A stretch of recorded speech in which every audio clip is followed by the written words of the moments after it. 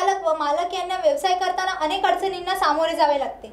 या सर्व समस्या कशा पद्धतीने दूर ठेवता येतील हीच दूरदृष्टी डोळ्यासमोर ठेवत संजय हारनोळ यांनी जय संघर्ष सामाजिक संस्थेची स्थापना केली आहे. चला तर पाहूयात या संदर्भात आधार न्यूजशी केलेली बातचीत. जय संघर्ष सामाजिक वाहन चालक सामाजिक संस्था असून या संस्थेचे संस्थापक अध्यक्ष श्री संजय माणिकराव हारनोर हे आहेत. प्रवासी वाहन चालक व मालक यांना आपला व्यवसाय करताना दूर दूर अंतरावर जायला लागते. अशा वेळेला अनेक प्रकारच्या समस्यांना सामोरे जावे लागते.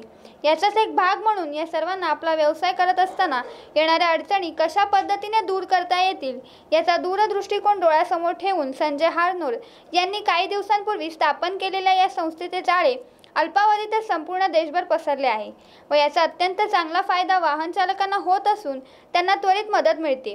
यामुळे या संस्थेचे सभासद दिवसेंदिवस द्विगुणित होताना दिसत आहेत. याचे संपूर्ण श्रेय श्री संजय हारनोळ यांना जाते. तर अशा या जय संघर्ष सामाजिक संस्थेला आधार न्यूजचा सलाम. वाहन चालक म्हणजे किती अपमानास्पद जीवन जगतो ह्याचं स्वतः मी वाहन चालक झाल्यानंतर हे मला समजलं आणि त्याच्यानंतर मला ही कल्पना सुचली. आणि फेसबुक आणि व्हॉट्सअपच्या माध्यमाने मी वाहन चालकांना एकत्रित केलं आणि ह्याचा फायदा प्रत्येकाला आता भेटू लागला आहे. व्हॉट्सअपच्या माध्यमाने आमचे ऑल महाराष्ट्र आणि महाराष्ट्राच्या बाहेर पण ग्रुप आहेत. देशामधील प्रत्येक धार्मिक स्थळी आणि पर्यटकस्थळी पण आपले ग्रुप आहेत. त्या त्या ठिकाणी गाडी ब्रेकडाऊन झाली किंवा अपघात झाला अशा वेळेला आमची संस्था तिथं एकशे आठपेक्षाही तात्काळ मदतीला धावून जाते. महाराष्ट्रामध्ये असा एकही तालुका किंवा एकही मोठं गाव नाही आहे की ज्या गावामध्ये आमचे सदस्य नाही आहे आणि आता पन्नास टक्के गुजरात पन्नास टक्के एम पी कर्नाटकाचा मराठी पट्टा गोवा हे पूर्ण व्यापलेलं आहे. आमचे उद्दिष्ट असे आहेत की जे वाहन चालकाला एक तर साधारण दहा सहा सहा ते दहा हजारा पगार आहे. तेवढ्या तुटपुंच्या पगारात त्यांचा भागत नाही.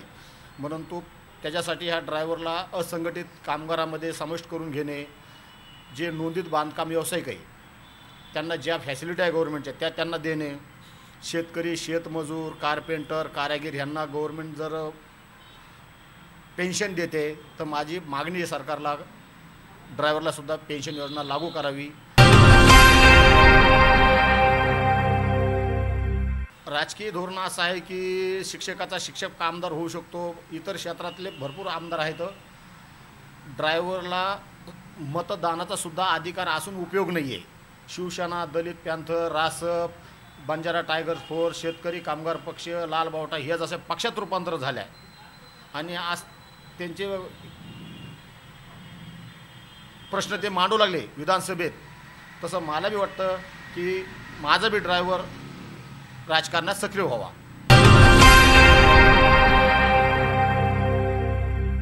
नटच्या कंपनीमध्ये तिथं नाटाला टॅक्स लावता बोर्डला टॅक्स लावता टायराला टॅक्स लावता ट्यूबला टॅक्स लावता सीटला टॅक्स लावता चेशीला टॅक्स लावता बॉडीला टॅक्स लावता.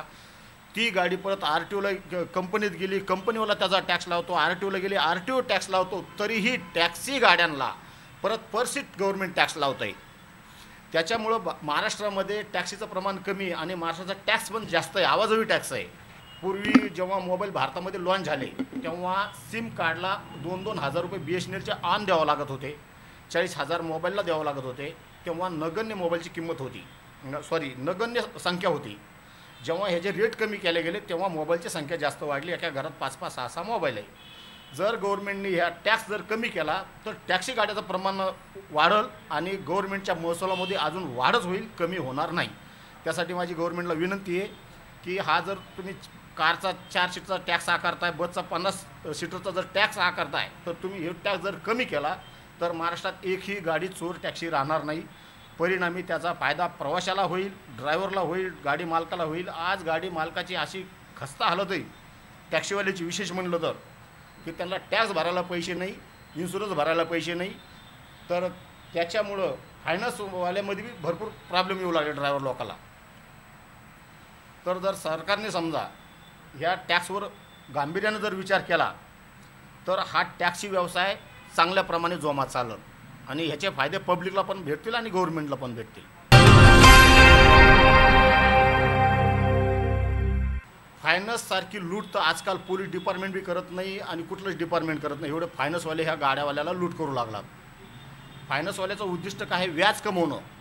मग तुम्ही व्याजच कमावणार? त्या ड्रायव्हरच्या गाड्या वडून नेऊन त्याला देशोधडीला लावता रस्त्यावर गाडी अडवतात. त्यांचा एजंट म्हणतो अकराशे रुपये अकरा हजार रुपये दे आम्ही तुमची गाडी सोडून देतो. म्हणजे ते अकरा हजार ह्यानं गाडी ओढून नेलेलं नेलं की त्या गोडाऊनचं भाडं त्या गोडाऊनचे टॅक्सेस म्हणजे ह्याच्यासाठी आता माझी अजून एक मागणी बरं झालं तुम्ही प्रश्न चांगला विचारला तुम्ही.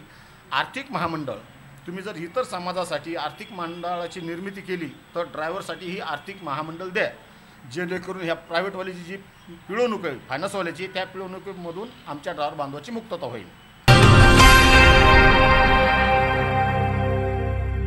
हे आधार जे चॅनल आहे ह्या चॅनलने जी आम्हाला ही संधी दिली आणि आमच्या ड्रायव्हर लोकांची या कामाची दखल घेऊन याला ही प्रसिद्धी मिळून देऊ लागला आहे त्याबद्दल मी संजय हाणोर आधार चॅनलचे आणि त्यांच्या पूर्ण टीमचे विशेष आभार मानतो. धन्यवाद. जय हिंद जय महाराष्ट्र जय संघर्ष. तर हे होतं आजचं आधार स्पेशल अधिक बातम्यांसाठी पाहत राहा आधार न्यूज तसेच अधिक माहितीसाठी W W W dot Aadhaar news dot in या संकेतस्थळी अवश्य भेट द्या.